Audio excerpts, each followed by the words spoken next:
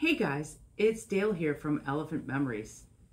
Today we're going to be color filling some laser engraved and CNC carved wood projects with mica and pigment powders. This is an upgrade from my acrylic paint color fill video I did four years ago. Adding these color powders to your projects will really add extra pop that you're looking for. These pigments have amazing luminous properties from incredible shine to color changing hues, shimmering metallics, and even glow in the dark, making the possibilities for your project endless and unique. For this video, I'll be doing two finishing techniques. First, we'll cover the project in a clear resin. This is for indoor use. Next, we'll be using a rugged gloss varnish. This is more suited for outdoor use. I'll include links in the description below for the projects that I've used in this video. If you use the links, you'll automatically get a discount on your orders and it'll help me out to make more videos like this. I'll also include a link to my free newsletter. Here you'll gain access to all of my tutorials as well as some exclusive content on things like resin projects that you can do right at home and more. So let's get started, shall we? For this color filling technique, you will need the following. Finished project wood. I used a nice 3 quarter inch hard maple. Quick drying wood sealer like shellac.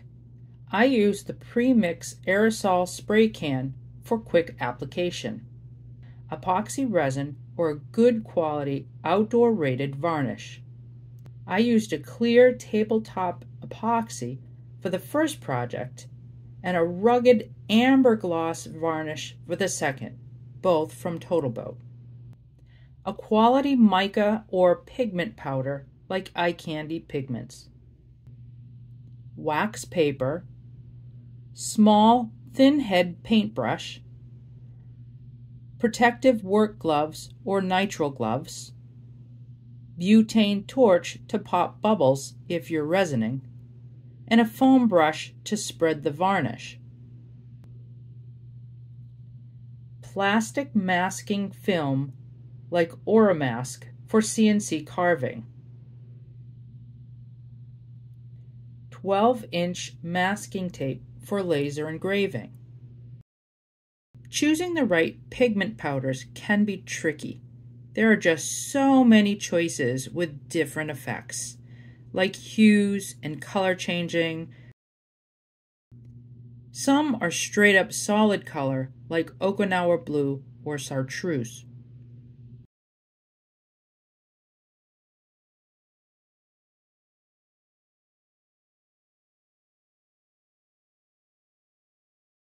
This rusty red has a lot of dark undertones.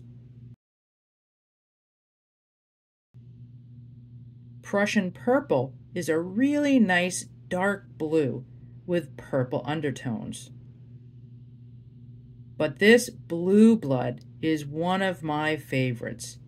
You can't tell by looking at the straight powder, but the hues and tones once added into resin is absolutely stunning.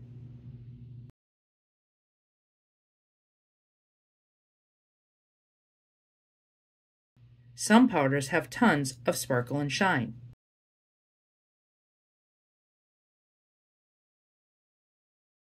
Yet others, like this RYU Dragon Ultra Shift, has tons of hues with greens and golds. My advice is to go to the product website of your pigment of choice and read the descriptions, look at the photos, and see if they have videos, and this will help narrow down your choice. The results are really quite stunning. This is a close-up of the CNC V-groove that was brushed with blue powder, then finished with a clear epoxy resin. Here is another example. This is a walnut charcuterie board, finished with the food contact safe epoxy on one side and left natural on the back for cutting. On the left is maple finished with an outdoor rated varnish. The right is finished with epoxy. The top font is carved with a CNC machine where the bottom logo was laser engraved. To start, prep your wood by planing it flat, then sanding it to a smooth finish. For CNC milling, you want to mask the project. A plastic sheet film works well for this. This will prevent the powder from adhering to your entire project. Cut the film to size, then peel off the back and place on your wood. We used a plastic spreader to push down on the wood and remove any trapped air bubbles.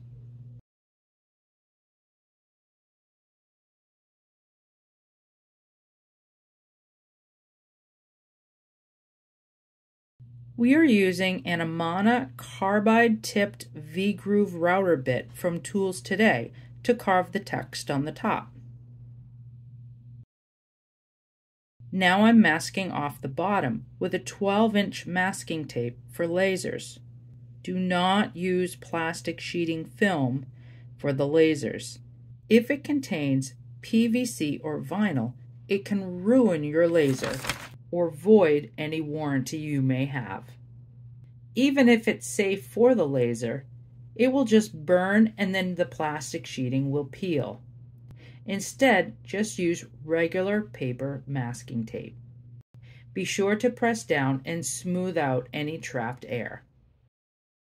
We are laser engraving our logo on the bottom. On my Epilog Mini 50 watt laser, I did two passes with the following settings a DPI of 400, a speed of 40, a power of 100, and Stucki dithering.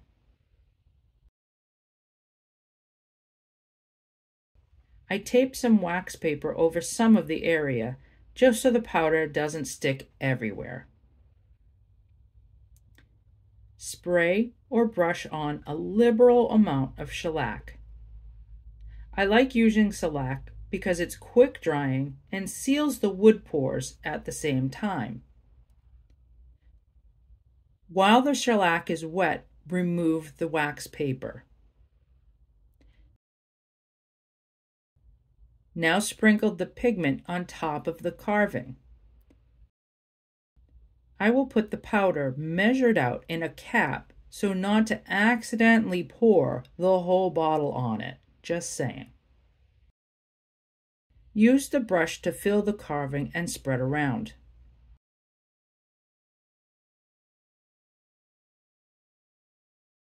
If there are areas the powder is not sticking to, you can repeat this process after about 15 or 20 minutes. Reapply the shellac and the powder.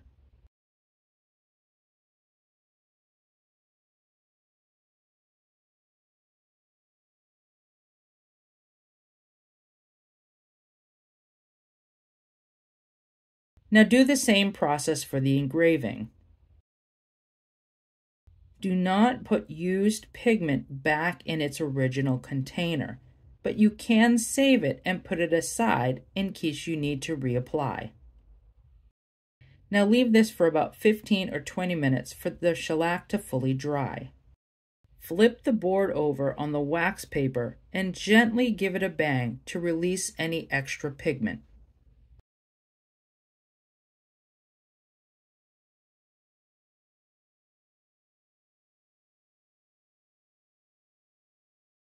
Once you are satisfied, give another spray of shellac to really seal the pigment. Let dry again for 15 minutes. After the shellac is dry, you can now peel off the mask.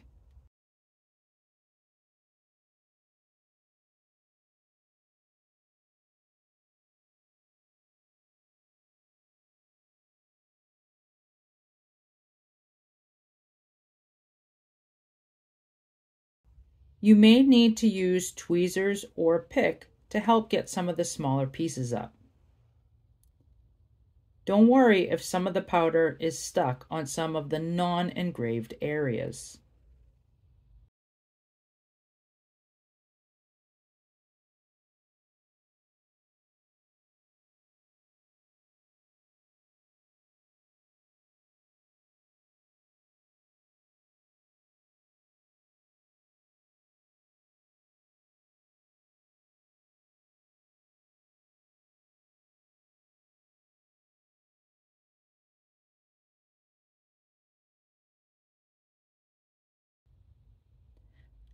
I like to let the shellac thoroughly dry overnight before sanding.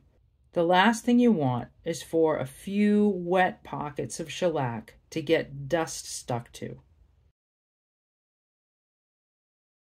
Now, sand nice and clean.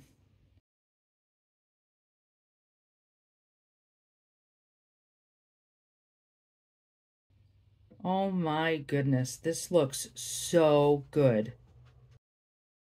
Okay, for the piece that I'm adding resin, I'm going to cover the whole wood in shellac.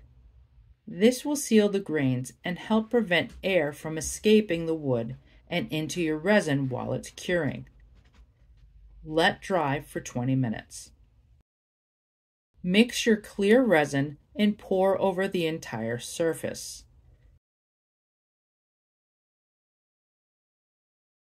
The color is really popping already.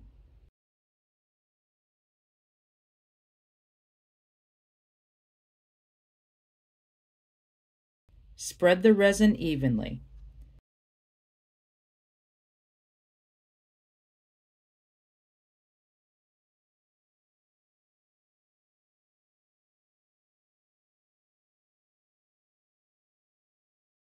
That shellac sealed the power well. I don't see any of it in the resin.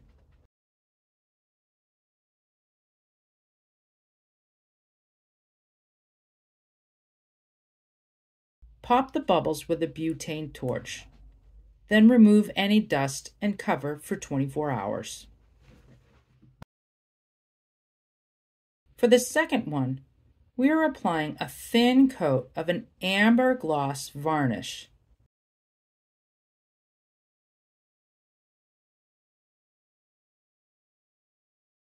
We'll add to the V-groove to seal it well too.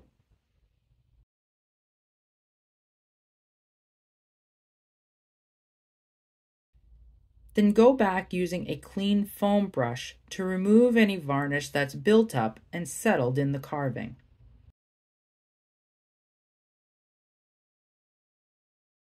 You can reapply after one hour.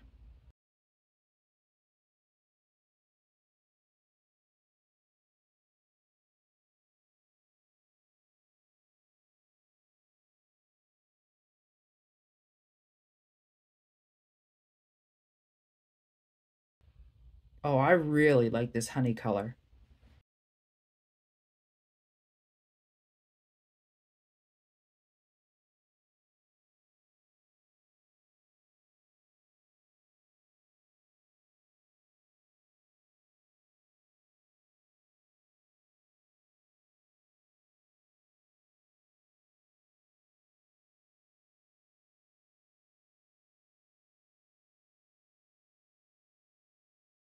And that's it.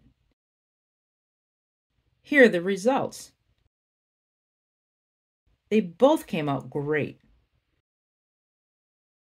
As you can see, it works well for both CNC as well as laser engraved projects. If you found this helpful, please consider subscribing to our channel and give us a thumbs up. Leave questions in the comments below. And I'd love to see what you've created with this technique, so be sure to tag us on Facebook and Instagram at One Elephant Memories. We'll see you next time.